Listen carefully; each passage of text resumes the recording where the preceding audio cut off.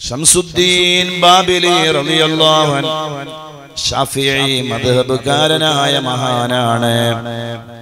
ഇബാദത്തുകളെ കൊണ്ടും ഖുർആൻ പാരായണം കൊണ്ടും വലിയ ജീവിതം വിശുദ്ധമാക്കിയ മഹാൻ.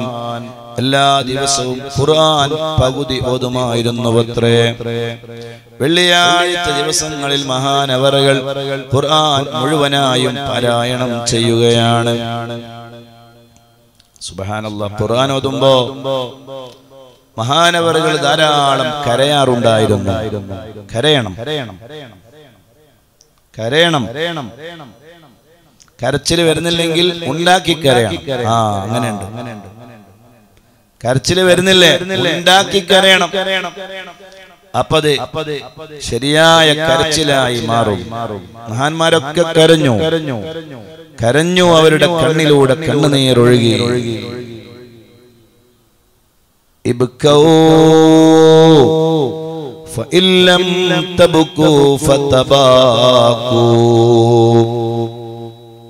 നിങ്ങൾ കരയണം.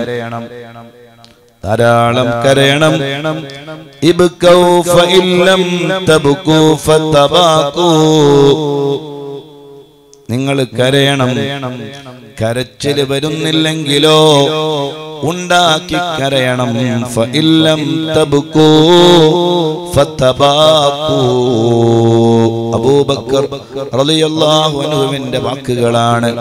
കരയുക കരച്ചിൽ വരുത്തുക കരയുന്നില്ലെങ്കിൽ ഉണ്ടാക്കി കരയുക. അങ്ങനെയാണ് അങ്ങനെയാണ് അങ്ങനെയാണ്. കരയണം. അപ്പൊ ഉണ്ടാക്കി കരയുമ്പോൾ സ്വാഭാവികമായിട്ട് കരച്ചിലായി മാറും. ആദ്യം വെറുതെ ഒരു കരച്ചിലായി കരഞ്ഞ. പിന്നെ അത് വലിയ കരച്ചിലായി മാറും. ആ അല്ലാതെ അതിലങ്ങ് ചിന്തിച്ചാൽ കരയാൻ കഴിയാൻ കരയുന്നില്ലെങ്കിൽ ഉണ്ടാക്കി കരയണം. നല്ലതാ. നല്ലതാ നല്ലതാ അത് കരഞ്ഞാൽ കുറേ റാഹത്തുണ്ട്. കൽബിൽ നല്ല റാഹത്തുണ്ട്. അങ്ങനല്ലേ? കരച്ചിൽ അള്ളാഹു തന്നത് എന്തിനാ?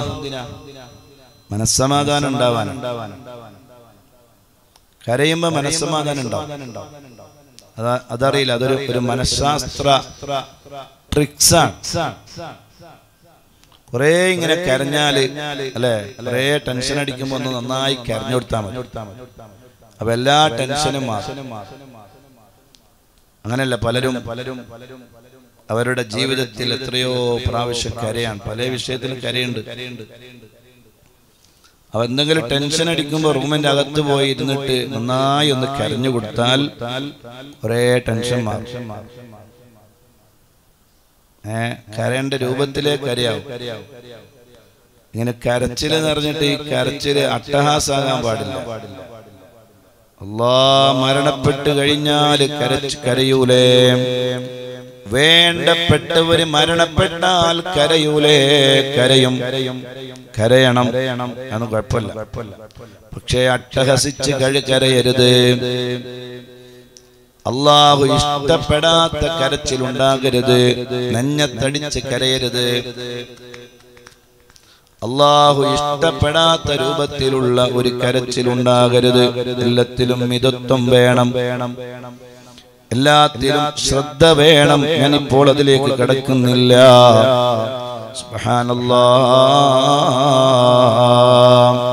എല്ലാ മഹാന്മാരും അവരുടെ ജീവിതത്തിൽ ധാരാളം കരഞ്ഞു. മഹാനായ ഷംസുദ്ദീൻ ബാബലി റളിയല്ലാഹു അൻഹു. പറഞ്ഞല്ലോ.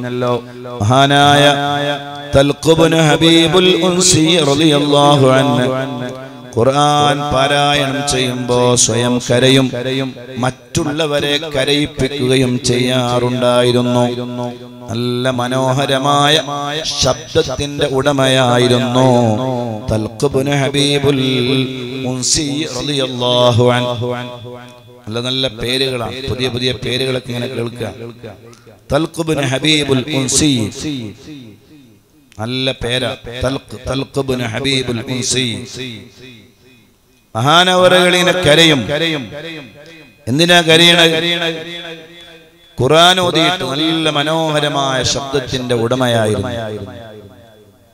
ഇങ്ങനെ ഓതും ഇങ്ങനെ കരയും മറ്റുള്ളവരെ കൊണ്ട് കരയിപ്പിക്കും.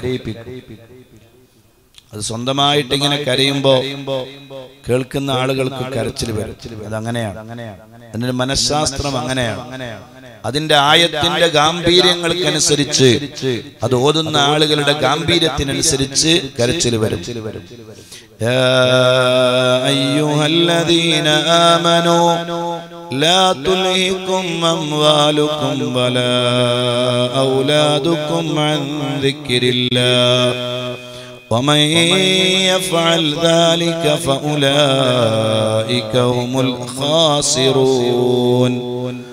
وأنفقوا مما رزقناكم من قبل أن يأتي أحدكم الموت. فيقول رب لولا أخرتني.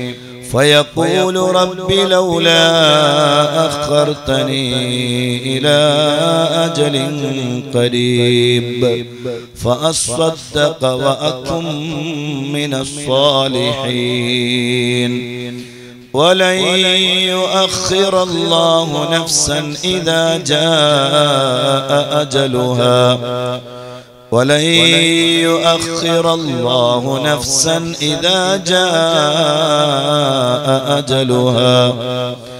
ولن يؤخر الله نفسا إذا جاء أجلها. والله خبير بما تعملون. من إنجليه ولن يؤخر الله نفسا إذا جاء أجلها. ഒരാളുടെ സമയം എത്തിക്കഴിഞ്ഞാൽ ഒരാളുടെ മരണത്തിന്റെ സമയം എത്തിക്കഴിഞ്ഞാൽ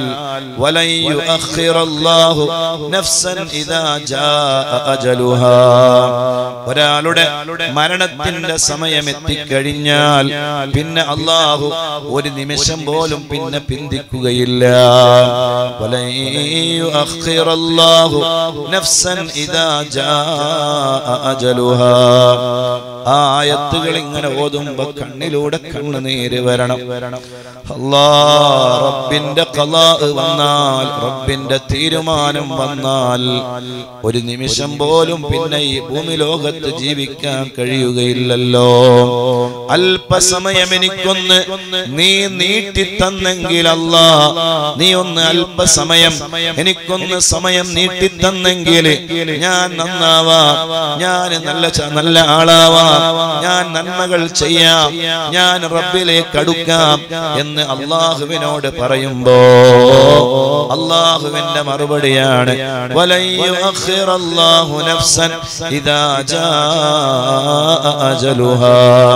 അള്ളാഹുവിന്റെ തീരുമാനം വന്നു കഴിഞ്ഞാൽ പിന്നെ ഒരു നിമിഷം പോലും ഭൂമി ലോകത്ത് ജീവിക്കാൻ കഴിയുകയില്ല.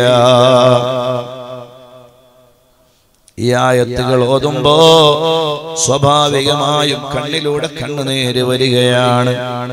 നമ്മുടെ ആക്കിബത്ത് നീ നന്നാക്കണേ അല്ലാ ഞങ്ങളെ ആക്കിബത്ത് നീ നന്നാക്കണേ അല്ലാ ഞങ്ങളെ ആക്കിബത്ത് നീ നന്നാക്കണേ റബ്ബേ.